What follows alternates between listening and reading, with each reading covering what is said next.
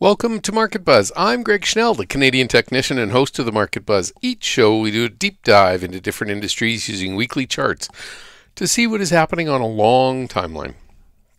Please follow me on Twitter at Schnell Investor, and you can also find my blogs on gregschnell.com as well as stockcharts.com.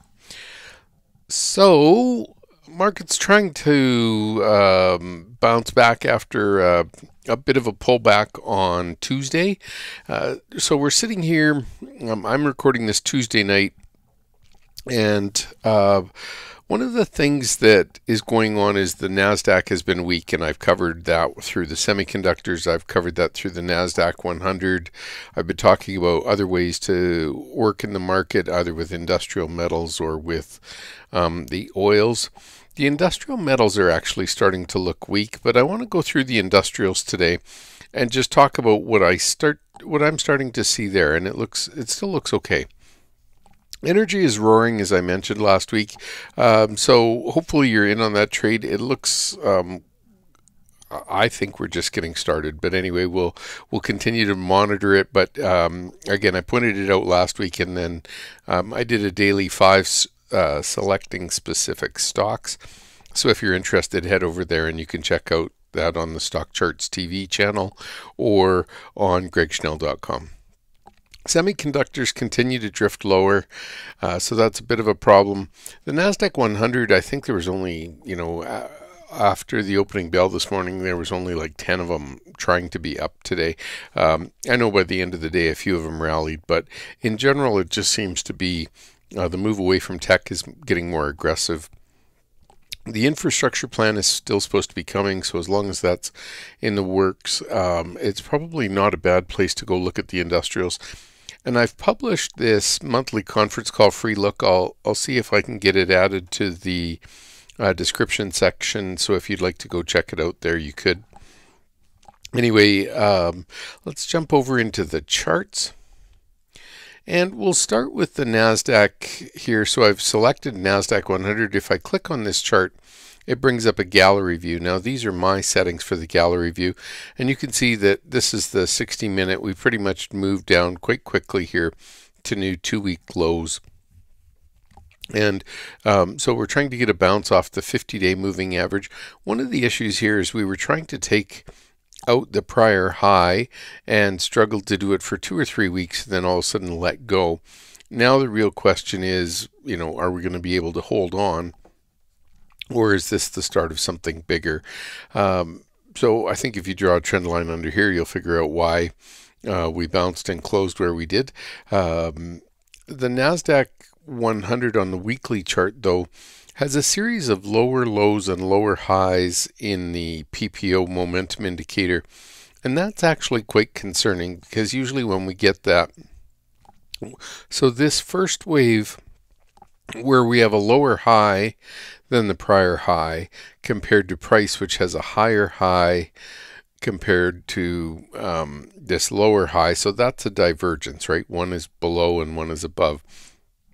So the momentum isn't as strong as the price action. On the second one, we also had smaller volume on the second one. And on this smaller volume, we've had less momentum even though we made a higher high in price. So we actually call this double divergence where we have the first one and the second one. That's a pretty weak setup. And we just need to be careful here if if you're invested in the tech area that could be a little bit problematic. I want to show you the ARK charts and um, the reason I want to point them out is just um, so that people are aware of the trend. Actually, maybe I'll grab this daily chart and just unwind it a little bit here. Um, what you can see is it's pretty clear what's going on here. We're trying to build uh, a topping structure. And the real question is we fell down. We tried to bounce off the 200 day moving average and also let's call it horizontal support around 110. It's really important here that that these um, innovation names or uh, or um, high growth, speculative growth names. Uh, some might not have any earnings at all. Um, don't get me wrong, they're good companies. It just might be out of favor to buy them right now. So the idea being here, we're stuck under the 50 day moving average. We're trying to bounce off the 200, even if we wobbled in here for the next week or so.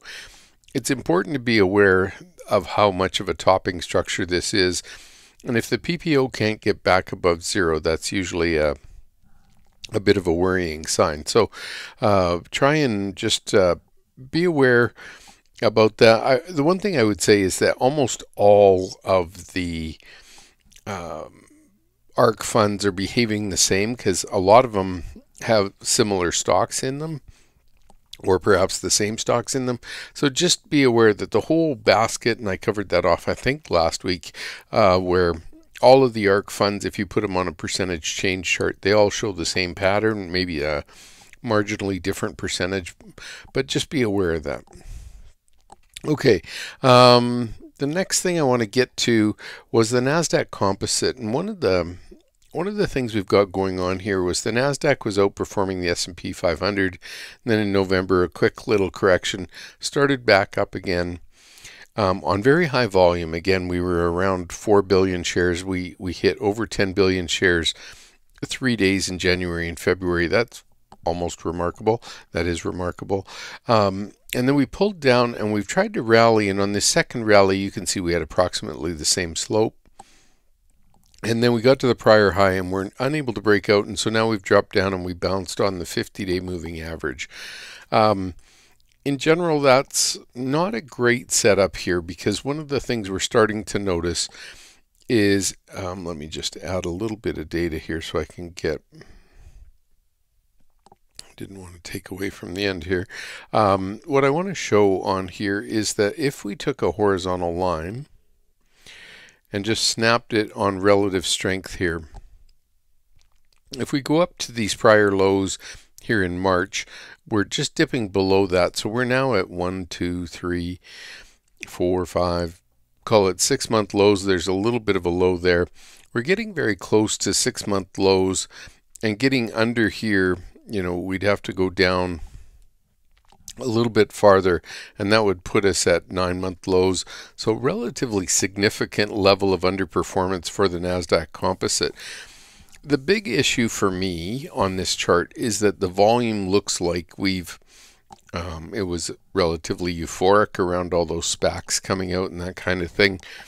So the volume has gone away, and typically when we see the euphoria go away, we might also see a lot of the momentum drop. The question now is, um, you know, how far does the Nasdaq have to drop to uh, catch itself? Now we can draw an uptrend line like I did under those ARK charts. Um, it's down a little bit more; it'd be closer to 12.5 or 13,000. Um, and then just under that, we've got the 200-day moving average. So that that could leave another 500 points for the Nasdaq, and we were down 250 today. So um, two or three of those drops will uh, kind of uh, get us to some of those lower levels. So um, for all of those that think this might drop considerably, that would still be multiple percentage points lower. But I don't um, you know, you're still in a big uptrend. I think the real question would be how much pain can you endure uh, while these big names start to sell off hard. When I looked at um, uh, the probably the the big name um, to watch here for actual readings toward innovation and momentum um, is Tesla, and we're trying to hold that 6, 6, 650 level. Um, that was kind of support for the month.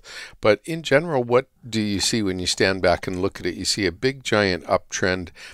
At the euphoria in the top in January, February, it kind of ran into a high. And now it's actually rolled over the 50 day moving average and it's sloping down. It's finding friction around there, much like the ARK funds. Uh, the PPO is rolling over near zero and starting to go back below it again. Usually, when you're below zero, the stock's not in an uptrend, uh, especially pointed down. So, what we want to watch for here is um, how does Tesla react? You know, the, the 200 day moving average is 571, so another 100 points lower than we are currently at. How does Tesla react there? And you can see uh, we got down to 539 in March um, after the February kind of sell off that we had So so we're getting down into these levels that are starting to be more meaningful. All of a sudden if we're making three month lows which we did here and now all of a sudden we'd make six month lows that starts to become more of a defined topping structure. So just keep an eye on those um, those names. Now let's get into um, what is working.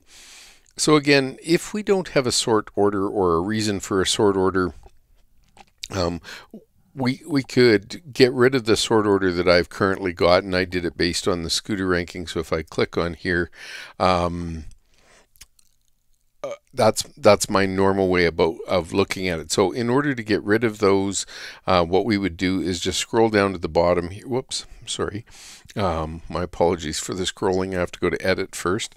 I want to scroll to the bottom select all the charts and remove the numbers. That's going to get rid of these numbers right here and I'm going to remove them. This is very easy to do. And then I'm going to go back to summary mode and then pick whatever I want to sort order. Do I want to sort it on price, percentage change, maybe percentage change over a month, um, whatever. You, you can do any one of these. I typically like to just pick the scooter ranking. It's got a couple of different time frames in it and and we can look that way. So anyway, once we do that, we have to scroll back to the bottom and hit this number in sorted order button, and then it's going to save it in uh, with the the same ranking order as the scooter. So now let's jump into the charts. Uh, this this one's been a choppy uptrend. You can see um, Freight Car America here has been uh, really a strong performer, then pulls back. Strong performer pulls back. Right now, all of these charts are on daily mode. Um, if we just want to switch them to weekly, uh, the only thing I'd like to do here is probably just grab a little bit shorter time frame and then uh, apply the style to all. So it's going to change all the charts to be this two-year weekly. So once once we're in here, um, you know, what are the things to look for? All of a sudden, you can see the volume really spiking up on this chart. PPO is still in an uptrend, but uh, one thing I like to do is just draw trend lines under my momentum and just see if it's going to start breaking down here. I would say that's kind of a trend line I could draw, but it looks like there's a better fitting one here on this low, this low, and maybe pull it down a bit. So we're something like that. Anyway, I always want to make sure my momentum is in an uptrend, and if it's going to start to break, that I'm aware of that. Um, but price has been okay. I would just say it's been relatively choppy, right? This is $3 to $6, and then it comes back down. So uh, lots of wild swings here. Um, and as usually as you get towards the big wild swings, that's kind of towards an end of a rally, not usually in the middle. Let's jump in and view all. Um, so we've already done Railcar. Here's Welbilt. Stock was doing great. All of a sudden went from 14 to 20. That was a pretty strong week, a 30% week. Big volume showing up. And now the stock just consolidating those gains. Looking on Manitowoc, I think these guys make big crane systems, if I'm not mistaken, for trucks. Um, big uptrend, looking pretty good. Look at the scooter ranking. This is one of the best levels we've seen in two years. That's kind of, and I like it. We're only a month into it, two months into it. That's pretty good. And so that one, that one would get on my name for something that could probably continue to run for a bit. And if it rolled over, well, so be it. But um, when I get stocks that are just starting to become outperformers and are continuing it, like this one's just starting to break out above prior highs. This looks pretty good to me. Um, so that would be a name that I would like. And here's Bombardier. Stock's really migrating sideways for six weeks. Not as exciting. It's only trading in in uh, under a dollar. So a little light. Spirit Aerosystems. This one looks to me like it's already rolling over. So it dipped below the 10 week. Now it's spent three weeks below the 10 week, and the PPO is starting to turn over. I'm not as excited about that. The scooter ranking is still holding up okay.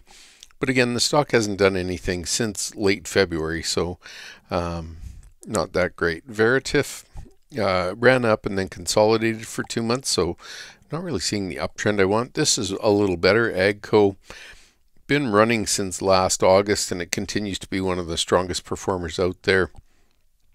In August, it was tracking in around $80. Whoops. $80 or $70, high 70s, and now a buck 60. So uh, a double, really nice. Embraer aircraft out of Brazil, ERJ. This is trending up. Uh, just started to get into the um, high scooter rankings. I have to like that. That looks pretty good to me. I would say one thing, the volume's really starting to get a little bit light down here. So perhaps losing interest in the uptrend. Uh, Tata Motors made a nice rally off the low. Hasn't done anything since February 1st. A little bit underwater here. And you can see the full stochastic, which kind of measures where it is in the range for the last 14 weeks is telling you it's at the bottom of the range, which typically isn't good. You kind of want it to be at the top of the range. Textron, this one's actually just starting to look almost like it's speeding up on its ramp up. That's pretty nice. Scooter ranking just starting to go above 75, so that's pretty strong, and that's in the large cap, so that's really good. Oshkosh Truck Company, um, nice uptrend here. PPOs or the scooter ranking just going above 75 and the PPO is making higher highs and higher lows. This all looks good. 10% is pretty heady, but um, that's kind of one of the highest levels this has gotten to. Typically for me, um, you know, if you've ever tried to short something with a really high PPO, it's not usually easy to do. The stock has a lot of lovers at that point, and any pullbacks kind of get bought until they get worn out. So um, stock still looks great here. Relative strength outperformance compared to the S&P 500. Um, just starting to break above this 125 level, hovering up under here slightly at 127. So perhaps it can actually um, snap up and, and continue it up. Here's Crane breaking out to a new high uh, this week already, so that's nice to see. Again, decline in volumes starting to be a little bit worrisome. Astronics, um, again, we're seeing the decline in volume, and I mentioned that on the NASDAQ at the very beginning. Um, but this one, you know, scooter rankings just starting to take off. want to see it do something a little bit more than gyrate sideways for seven or eight weeks. So even though the SP, S&P has been moving on to new highs, this hasn't really been able to do that energy recovery. This one's definitely working its way higher. Two weeks ago had a big surge from 17 to 21 and then kind of consolidating that gain right now. It's not a bad chart. Uh, always hard to buy after a big 20% move. Rev Group, this one's consolidating. I'm going to use that word a lot today. Um, here's CAE, and what they do is they have simulators for pilots. And so, with all the changes in the Boeing uh, planes, uh, all of these pilots need to go uh, back to the simulators and practice their flying, learn about new features on the Boeing that they might have changed. And then, um, so if you're thinking a lot more pilots are going back to work, they all have to go through the simulators. Um, it doesn't necessarily mean they'll sell more. It all depends on their contractual arrangements does the airline own the simulator or does CAE own it, manage it, and and uh, offer a service offering with pilots going through? Anyway, it looks to me like it wants to start to take off to the upside. It's just barely above the prior highs, um, but the scooter ranking suggests it's moving pretty good. Um, want to see that kind of keep going. CNH Industrial, this one's rolling over not great. PPO showing you that same thing. Uh, the uptrend in relative strength compared to the S&P 500 starting to weaken. I find this indicator weakens before the scooter ranking. Sometimes they'll weaken together, but normally once an uptrend on relative strength of something that was outperforming stops outperforming, for me that's a good place to at least take some money off the table. Bluebird, um, big uptrend here.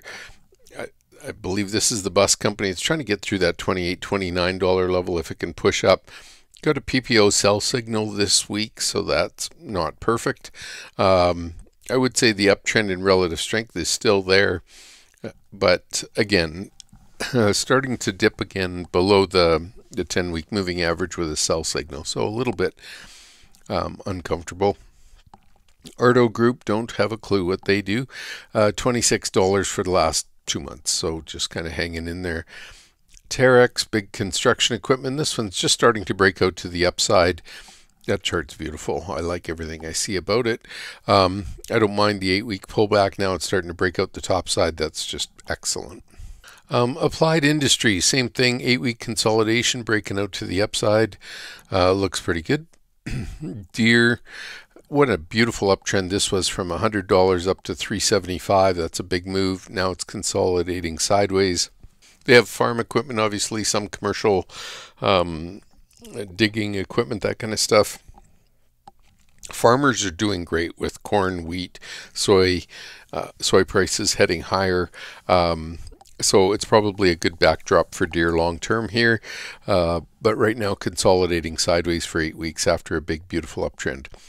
Lydall, same thing, consolidating for four or five months, starting to make lower highs and lower lows here, so that gets a little bit more questionable. Did have a nice push from 30 to 37 in the last two or three weeks, so nice there. Triumph um, hit a high at 1640 back in December and now basically traveling in that same area, so not really making any headway five months later.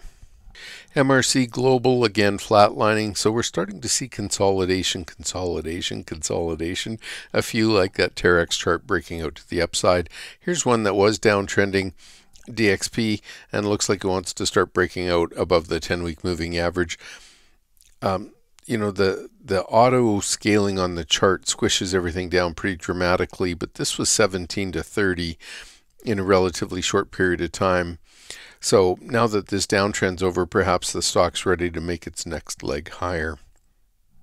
John Bean Tech, um, grinding sideways again, eight weeks sideways, so not really seeing the pop on that name.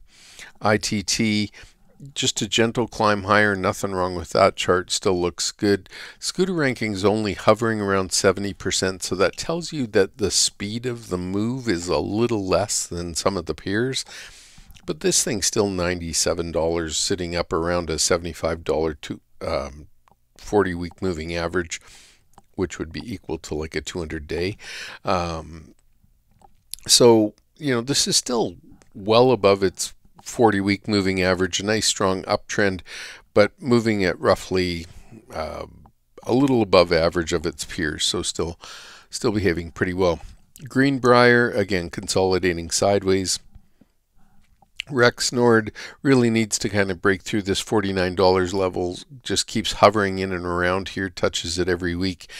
If it finally breaks out, that's probably a nice place to get back on board. Looking in on H&E equipment, this one's nice uptrend. You can see the scooter ranking starting to lose momentum. Remember, we've sorted by that level. Once they start to get below 75, I, I get a little less um, impressed, but I, I want to I don't mind seeing the ones that were below and are starting to shoot above. It's the ones that were above and are starting to fall below. That's kind of an area that we want to be careful about. Here's Raytheon. I don't know why it says UTX, but it's Raytheon. Anyway, um, breaking out to new highs here. I covered the defense stocks off um, two, three weeks ago. Anyway, um, this one looks like it, it got the memo starting to move higher. AAR Corp Industrial Aerospace grinding sideways for six months. Really not making a move that we want to see. It probably has to start breaking the downtrend before we'd like to get interested. SiteOne just starting to break out through the upside. Uh, RBC bearings grinding sideways. Lots of that action. Need to start to see some of these pop and turn up. Clean Harbors Industrial Waste. I'm surprised that this one is so weak when you compare it to like waste management and some of the other waste companies, they are absolutely rocking it out of the park. Anyway, this one's just kind of holding in there. Don't get me wrong, it's still up in the top right hand corner of the chart. But if you go look at waste management, I guess I could do that. Um, this chart has just been going crazy. So, um, anyway, that's the difference that I was speaking about. Uh, Sun Hydraulics, uh, consolidating sideways after a really nice push. Uh, looks good. Any sort of breakout here would be nice to see. Timken, another bearing company, uh, running sideways here. Can it get up into the, the $90 level and break through all of this resistance? Chart looks pretty good. Uh, Franklin Electric uh, just broke out here this week to above this $82 level from March. And even on the weakness on Tuesday, it still put in a nice big push. Toro, haven't we done without that long enough? Anyway, uh, here it is, bull flagging up here after um, consolidating, running up, and now consolidating sideways for another couple of weeks. Albany International, uh, again, the scooter rankings are starting to get a little less powerful here. This is still climbing, nothing wrong with that. Um, again, what the scooter helps you see is which ones, well, the chart may be pointing up, the scale may be moving slow. This one's still doing just fine. I mean, it was a, a nice jump to $60 and it went up to 90, so a 50% run since November. Consolidating sideways, nothing wrong with that. Heritage Crystal consolidating sideways for two months. Uh, Woodward Governor, big grind sideways since December. Nothing really to talk about there. Here's Caterpillar, and one that um, is doing really well. Finning International is is Caterpillar's dealership uh, network. Uh, why I didn't put the .to. Anyway, you can see this stock um, looking pretty strong. Nothing, you know, this is the kind of price action just grinding a little bit sideways here. We'll have to see if it can make another move. But I would expect if we get the infrastructure build, um, you know, it's just going to keep pushing these big names around. Caterpillar testing the 10 week, that's been a really good support level all the way through.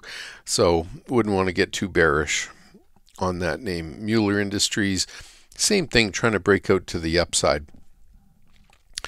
Um, so maybe I'll just leave it there. Um, the the big thing I'm focused on here is can they start to break out of these consolidation zones, and if so, that's a really bullish um, sign. Uh, again, some of the the defense stocks like Raytheon that and General Dynamics on the screen, uh, those types of names have have started to push lately, so they're looking pretty good.